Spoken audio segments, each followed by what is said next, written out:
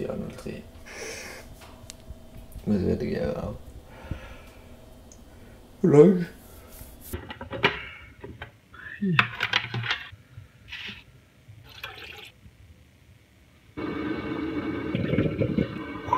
The sound of love in the morning.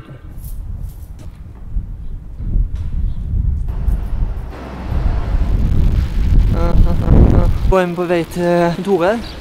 Møkkasent ute i dag. Tenkte jeg skulle bare kaste den, men så tenkte jeg at det var fett for deg.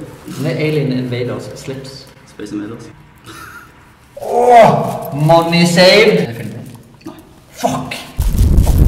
Det er da bestekameraten min, Thomas. Thomas. Har vel kjent hverandre Jeg tror jeg hoppa over deg på skateboard en gang når, var, når jeg gikk på ungdomsskolen.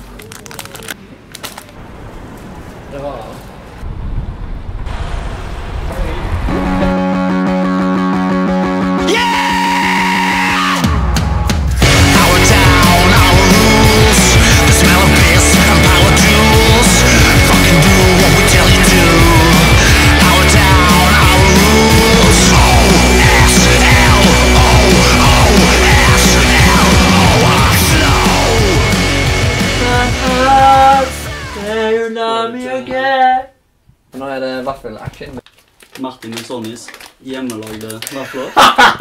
Tanken som teller. Det er som kniv i smør, dette her. Uttrykket sitt, da. Wisp and shout. Jeg hører mamma klage på vispinga mi akkurat nå.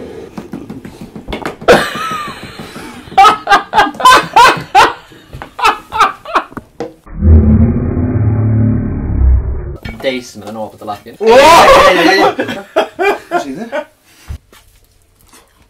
Å, det er nydelig. Jeg kan tåke. Det var jævla god. Kom. Nei, nå er, nå er det overtrådt. Han møtte veggen.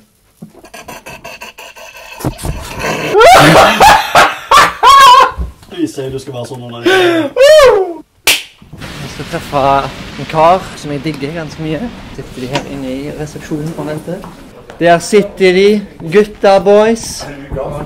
Always. Martin. Jævlig fett. Er. Koselig. At du er rett på jobb, ass. Alltid. 24-7. Hallo. For det, nå er jeg jævlig nysgjerrig hvis du holder den nå, Ja. så høyt opp du kan. Ja. Du må ikke så høy, ass. Nei, det jævlig lavt. Jeg, hvis jeg stjeler noe fra deg, så kan jeg egentlig bare holde det på strak arm. Får du tak i den? Klarer du det faktisk? Fy faen, prøv da. Det går ikke, vet du. Prøv nå. Siste. Ja, ja. Er det her, eller? Nei, det er her. Det er her kontoret. Har du crush-konsept i første? Ja. Det er Der tjener du pengene. Ok, gutta, dette er da kaffekontoret. Men jeg har en liten surprise til dere. Å, en kaffe-surprise. Kaffe og vafler. Er det du som sørger at han ikke dør? Så jeg har eh, en gave til dere her. Yes! Oi. Ja, ja, ja, ja, ja. Fy faen, så koselig. Takk. Kokt, holdt jeg på å si. Stekt så faen med vafler. Yes, og jeg er så glad i vafler, Da har vi kaffekosten på gang. De var varme, vet du. Det er nettopp lagt. Terningkast seks. Sukker og kaffe, vet du. Det er det vi må ha. Han har gitt ut i dag. Gøy. Har du lurt den på crossfit? Ja. Hva slags triks kan du gjøre? Kan du stå på én hånd og sånn? Nei, skatehåndledd. Kan du gjøre backflip og sånn? Der du spreten? Holde for noe? Jeg fikk terningkast seks. Det får du fra meg òg. Yes! Lite pratrekk for fett, fettinnholdet. Går det til fem, ass. For det er noen som er litt ivrig med melangen. Hønsesaft. Ja. Oi, oi, oi. Det renner jo. Deilig. Helvete, jeg så ikke tilbake. Nå er vi da på fotoshoot med The Dogs. Blogging og bilder og greia. Hei, Helt rått. Og Fat five. Fat five. I won. Takk, Martin. Du har fått, fått en kaffe? Ja. Yes. Enter. Så du sier det som om vi ikke komme inn til at det liksom ligger parterte menneskelig Du selger et hardt, ass. Nei, nei, nei. Er den her ekte, eller? Fy faen. Det er gøy.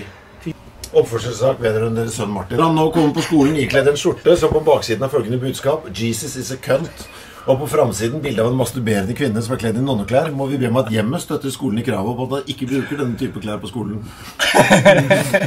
og så er det beste. Vi hadde i det lengste håpet at han ville etterkomme den tidligere anmodningen, men da jeg snakket med ham i dag, flirte han nærmest av at vi brydde oss om dette. har du, hvis du oppsummerer livet ditt sånn nå, sånn her du er nå, Martin, vil du si at du har flere venner enn fiender, eller omvendt? Hvor tror du du står, liksom? Hvor er, hvor er, regnskapet? Jeg vil tro at du i hvert fall var på flere fiender, men har du nå bikket, så du er, det er mer venner nå? Ja, faktisk. Ja, ikke sant? Skolen f.eks., er jo ikke glad i deg, det ser jeg jo. På Statskirken er heller ikke glad i deg. Er den her åpna? Trial Pussy, og det er sånn du får på benseren i Tyskland. Du får en liten sånn poster med. Å ja! Inspirasjon. Ja, altså Roar, velkommen til Haugesunds eh, stolthet. Dette er bandet The Dogs. og i dag Vi har lurt på en del ting med denne kaffefanzinen. Jeg spiller altså bass og korer i The Dogs. Han gutten her, vet du. Han har mye oppi ermet. Det har han. Han heter Henrik, og han spiller trommer. Han her heter Mats og spiller gitar, og det han første prøvde å si, det var at i kveld skal vi spille vårt første headlinershow i Haugesund. Her han vi stjerna. Uh, takk for det, eh, Mats uh, Martensen. Vær så god. For du får så mye panne i den. The amount of skull. Vi er The Dogs, ja. Og vi er på besøk i kaffekontoret. Akkurat fått oss vafler og kaffe. Jeg må jo si at eh, bare for min egen del at jeg sitter på noe som jeg vil omtale som eh, bortimot mitt drømmekontor. Yes! Perfekt size og masse drit. Hvor det er gøye ting å se på uh, overalt. Tviler på om de andre bandene er enige med meg, men dette er da faktisk mitt drømmekontor. Liker å være her. Ja, ja, jeg liker det veldig godt. Men man har lyst til å spørre hva alt er for noe. Liker veldig godt den veggen her, som er helt fantastisk. Og så liker jeg dette her. Liker jeg dette, og at det er en platespiller. Driver du med noe digitalt i det hele tatt? Eller er du 100% analog mann? Det blir nok uh, mest analogt. Ja. Men hva med sånt som dagboka? Er det på maskin, eller er det på Shit! Ja, Ja, ja, for. Hvor mange hvor langt tilbake går dette? Fra barneskolen. Får du brukt det til noe? Eh, tar du opp en år gammel dagbok, og så hva, hva, hva bruker du det til? Åpner den, leser jeg. Shit. Jeg var jævlig fucked up før. Jeg er blitt litt bedre nå, overtenker jeg. Det er en Bra vinkel. Man får liksom, nå er liksom alle med bare allerede der. Bortsett fra meg, da. Dere har sett? Jeg. Ja, ja. Ja. Alt lages med den skrivemaskinen nå. Nei. Jo, jo, jo. Jeg fikk den av pappa da jeg var sånn fem-seks. Diplomat? Jeg intervjuet det, forresten. Oh, ja. Når jeg skriver svaret på mail, så må du skrive det ut for hånd på nytt. Og klippe det med. Ja, det er Remi sin, ja. Ja. Er det bra skateboard? Jeg kan Det, ikke noe det er skitbra. Åh, det ser så fett. Aller første arbeidet jeg fikk da jeg var 13 år. Hvor gammel er du? 31. Åh, Motsatt. Det verste skateboardnavnet ever. Hva så den? 23 skateboard Ja. Jeg hater å si det tallet. 22. det er meg. I helvete høyt år. var. dette er ikke tull. Når jeg slutta å kutte meg, da begynte jeg å hive meg utfor taket, sånn, og da ble jeg sponsa. Det var Ja. koselig gjestebok. Ja. Nå så jeg det var noen i gjesteboka som sa unnskyld til deg. Sånn. Det var koselig. Ja, ja. Litt sånn rørende gjestebok. Ja. Du er jo lagd for vlogg. De lange armers eh, tyranni. Der. Du er drone òg, du. Jeg er drone også. Og Du sa du drikker tre kopper kaffe om dagen. Er det én? Å ja. Ok. Å ja. Nei, men det er jo ikke mye. Så, da, Så det er en og en halv liter? Eller? Det er tre halvliter med kaffe om dagen. Nå ser, ser alle rett linje rett fram nå. Ja. Du må gå lenger ned, da. Jeg må gå lenger ned. Fordi alle må kunne se. Så lukk øynene først. Ok, Er dere klar? Lukk opp øynene. Det var overraskende. Sier du, det klare? Ja. Nå. Jesus!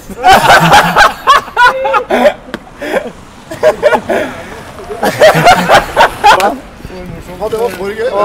Hva er det heter nå igjen? Dette er jo første gang vi møtes fysisk. Ja, ja, ja. Så må jo dette hedres på en god måte. Enig. Så det, Du skal her, liksom? ja. Jeg er meget spent på dine kunstneriske ferdigheter. Jævla bra, ass. Jeg må spørre, du runker ikke med venstrehånda? Jo. Min vaffel Min vaffel og din kuk. Angrer du nå? Er du ferdig? Ja. Jeg er kjempesnill der borte. Var ikke det fint? Nydelig. Ta noe med. Jeg hadde gjetta vaffel med en gang. ass. Det var ikke så jævla gærent, da. Tusen takk. Takk sjøl. Ja, Vet du hvordan du gjør dette her nå? Nei, Nei. har ikke peiling. Ah, Dagfinn blir tatovert av eh, Chris, og det ser ikke lovende ut. Når dypper jeg? Eh, Lebes? Ja. Hvor, hvor, hvor burde jeg begynne? Oi, satan, det var så mye nål, ja. Hva faen, jeg burde ha briller. Jeg ser ikke ned. Ok, nå kjører vi. Ja. Er du klar? Ja. Hvor begynner jeg nederst? eller her oppe? Det, det. Knallbra. Så skal vi skygge litt etterpå. Ja, du, fy faen, jeg er god. Ja, du er det. jo kjempeflink. Sånn, så skal du bare la dette hvile et par dager. Tusen takk. No offense, men jeg vet ikke. Angrer du på at du var det som burde tatt det? Ja, nå. Tusen hjertelig. Ok, Du må jo få en sånn eh, gave for å gi opp hunden, da. Den må du faen meg ta. Tusen takk. Det er jo det gøyeste som fins, vet du. Marius, la du merke til opptaket? Ja. Da har vi vært på Karma Tattoo! Det skiltet. Du hadde faen aldri sett det, du. Amerak, er det for?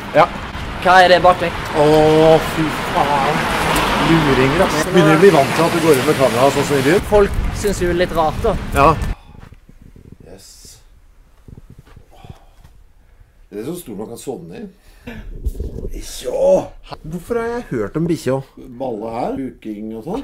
Og ikke nok med det. Hva er det som damedryst da i dag? Oh! Herregud, altså. Jesus Christ. Skal du ha melk i kaffen? Jeg tenker umiddelbart at det er vaffelrøre. For det er den stemninga jeg er i i dag.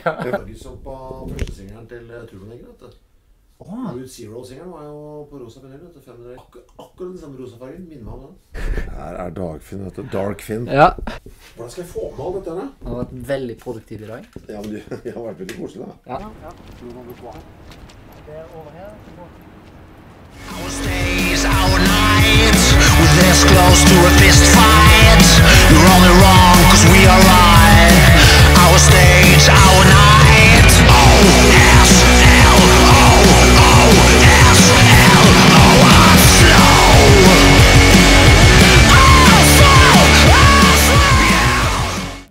Denne låta til Mr. Menzoni. Jeg føler at vi er på samme lag òg. Denne låta handler om han. Alt han har holdt på med og opplevd. Og alle de andre som har vært litt rare opp igjennom. All of us kids were accidents!